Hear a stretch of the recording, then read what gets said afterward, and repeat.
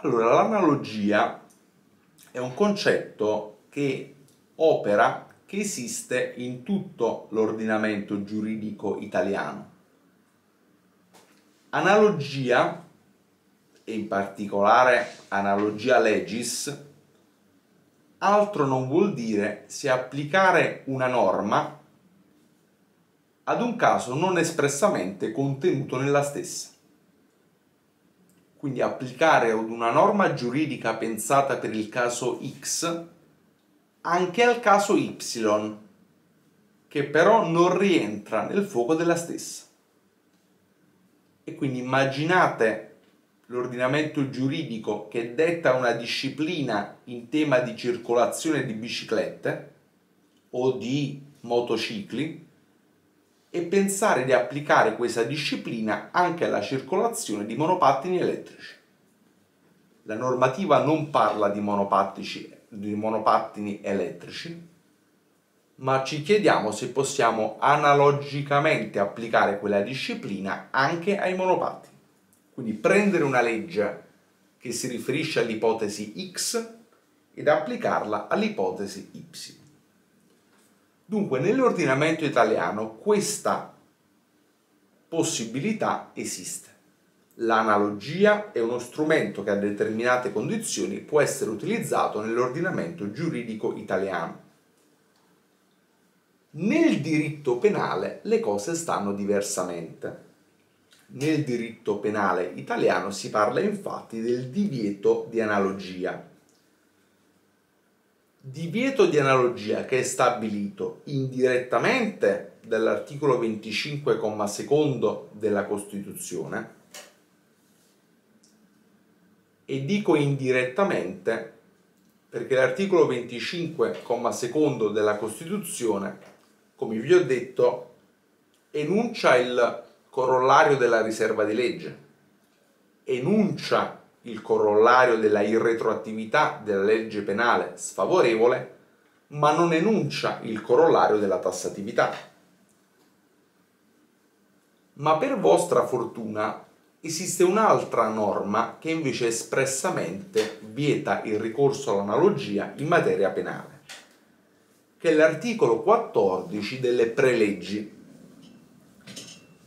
Le preleggi sono delle leggi preliminari che furono approvate con lo stesso decreto reggio del 42 che introdusse in Italia il codice civile. Però dovete sapere fin da adesso che le preleggi non sono relative solo al diritto civile, ma sono delle preleggi, delle preregole che valgono per tutto l'ordinamento giuridico.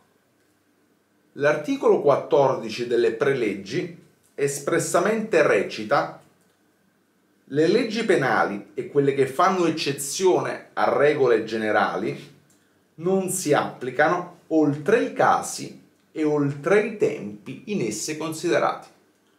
Quindi l'articolo 14 sancisce il divieto di analogia in materia penale. Perché? Per espressione del favor libertatis perché vi deve essere la libertà per il cittadino, intanto di poter discernere in maniera chiara, come sempre, il lecito dall'illecito, perché lo ripeto sempre, il diritto penale è il diritto del prius, non del posterior, e quindi il cittadino prima di tenere una determinata condotta deve poter comprendere se la stessa penalmente avrà una rilevanza e che rilevanza avrà o meno, ma soprattutto principio di libertà per il cittadino e di garanzia per il cittadino rispetto agli ingiustificati imprigionamenti o comunque abusi del potere giudiziario. Perché un potere giudiziario abusivo potrebbe dire sì è vero che la condotta del cittadino alfa non rientra nella legge X, ma applicando analogicamente la legge X all'ipotesi Y tenuta dal cittadino alfa, io condanno il cittadino alfa. Ed è questo l'obiettivo che l'articolo 14 delle preleggi mira a scongiurare.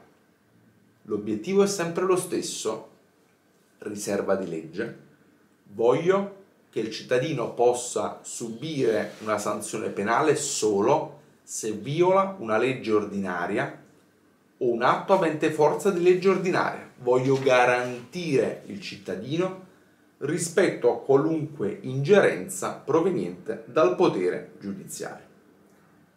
Dunque un principio stabilito dall'articolo 14 delle preleggi che attenzione non hanno normalmente un rango superiore a quello della legge ordinaria, eh? le preleggi sono leggi ordinarie, ma l'articolo 14 si attribuisce una sorta di forza passiva rinforzata, cioè si dice che non dovrebbe essere possibile modificare l'articolo 14 eliminando il divieto di analogia nella legge penale. Quindi, tanto per fare un esempio, se c'è una legge penale che punisce lo spaccio di una certa sostanza stupefacente e sul mercato italiano viene fuori un'altra sostanza stupefacente non ricompresa tra le sostanze vietate, io non posso punire lo spacciatore di quella sostanza dicendo beh ma se noi puniamo lo spaccio della sostanza alfa, possiamo punire analogicamente anche lo spaccio della tua sostanza beta. Sarebbe un tentativo di applicare analogicamente una legge penale incriminatrice, come tale mai possibile.